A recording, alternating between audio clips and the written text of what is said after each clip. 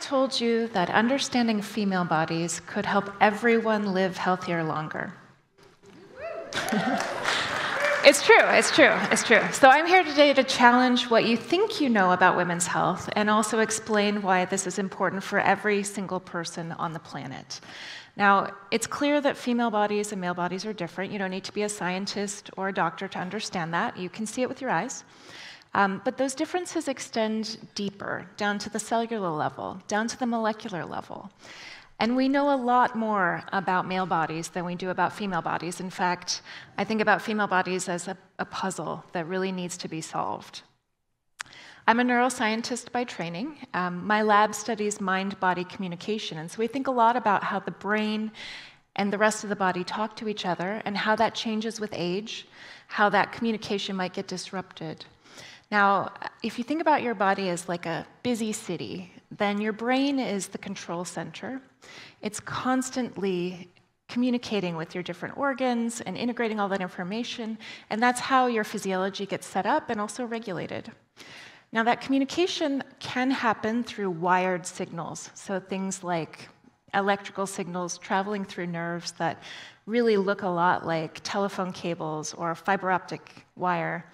Um, but your brain also has a wireless communications system, a network of chemicals that travel back and forth in both directions that essentially, I call it the brain's Wi Fi. but it really is like that. So, it, you know, your brain is not acting like a dictator, it's constantly listening to and integrating feedback from all those places. And so there's this beautiful, complex symphony that's going on all the time that's really dictating what happens in your body. And we think that changes in that communication really lead to systemic aging. Now, um, as a woman, as a scientist, I really thought that I understood how my body works. And I was wrong. I missed a lot of information. I knew that women live longer than men on average, but what I did not know is that if you're lucky enough to live to old age and you are female, then you are going to have a shorter health span than males. What that means is that you're going to spend more of your life in poor health. American women spend an average of 12 and a half years at the end of their lives suffering from disability and disease. So think about that for a second, like let that just sink in. Women have shorter health spans than males at baseline. That doesn't sound like fun to me. Uh, So, why is that? That was something that I really didn't understand. Um, it turns out it's because we have these organs, ovaries, that are aging faster than the rest of the tissue in the female body. So, ovaries age at about two and a half times the rate of the rest of the organs in my body. And that sets up this differential health span. Now, ovaries are for more than baby making. They're not just egg factories, they're actually endocrine organs, which means that they're producing dozens, if not hundreds, of hormones, not just two, that are signaling to almost every tissue in a woman's body. Much like the brain, kind of like a second brain. They have their own Wi Fi network, and ovaries communicate with bone, with heart, with liver, with muscle, with skin. I could go on and on. And what this communication network is doing is it's promoting health. They're like the architects of health in female bodies, and they are also the conductors for aging. And so when ovaries age faster, it essentially sets up this disparity. And you know, when I think about ovaries, most of the time when I say ovary to someone, they think fertility or they think menopause. And those are certainly two things that ovaries are important for, but that's not all that they do. So, as we're moving forward and thinking about human health, um, we really need to understand what's driving ovarian aging if we want to think about extending health span in females. The reason that we are where we are is because lots of things, actually.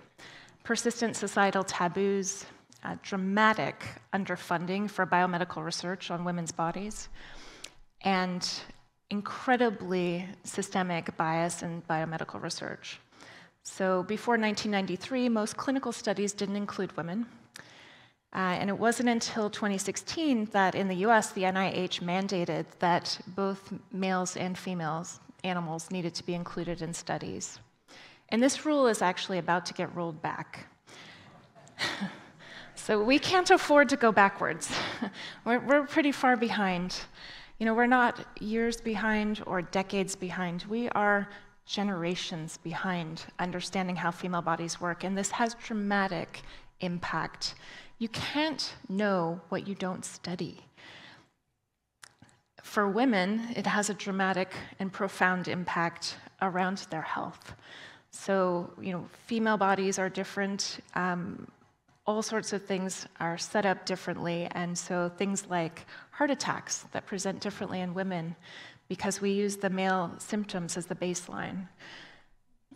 Anesthesia, which was calibrated on male bodies, often has really dramatic impacts on female bodies that we didn't anticipate. Medicines work different in female bodies. Until recently, uh, most of the drugs that were pulled from the market by the FDA were pulled because of adverse effects in women, because they were never tested in female bodies. So the cost of not knowing is profound. Between 2008 and 2023, there were 623 new drugs approved by FDA, and of those, a really a laughably small portion were devoted to female specific conditions. And if you remove cancer drugs from this list, less than 4% of the drugs that were approved by the FDA in the last 16 years were for female specific conditions. We have to do better. The drug pipeline for females is empty. We need to devote more, more time, more energy, more research dollars to female health. There's also an economic cost, and there's a cost beyond just adverse effects in women. You know, if we understood why female immune systems were better at fighting viruses, which they are, we could have saved a lot of male lives during COVID. There's so many things like that where understanding sex differences would actually give us the ability to treat disease in both sexes. Now, the answer is actually really right in front of us. There's an incredible economic case for doing this.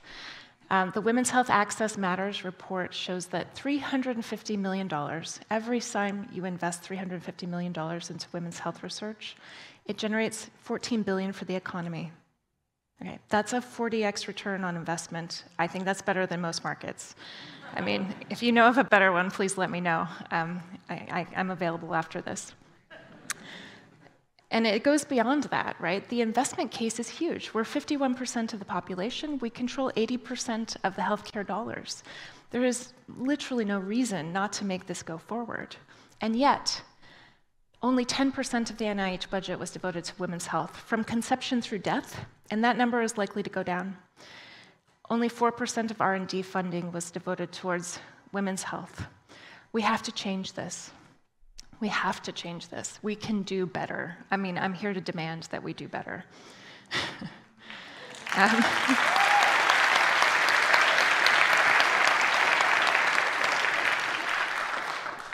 female bodies have been understudied and ignored for centuries. And it's to the detriment of all of us. The discoveries that could transform medicine for everyone are just there waiting. You can't solve half a puzzle and expect to see the whole picture. We need to focus on understanding female bodies. Now, today is International Women's Day, as you all know. Yeah. Um, when I was invited to give this talk last year, I never would have thought that I would be standing here telling you that we're moving backwards, but we are. And the hard won progress that we've made over the last many years is being eroded at an incredibly alarming pace. When science is politicized, when words or ideas are censored, when research funding becomes a political weapon instead of a public good, we all lose. And so I'm here to ask for your help as a scientist, as a woman, and as someone who believes that knowledge saves lives, we absolutely have to protect science. I would ask that everyone think about investing in understanding all bodies and choosing knowledge over ignorance because women's health is human health. Thank you.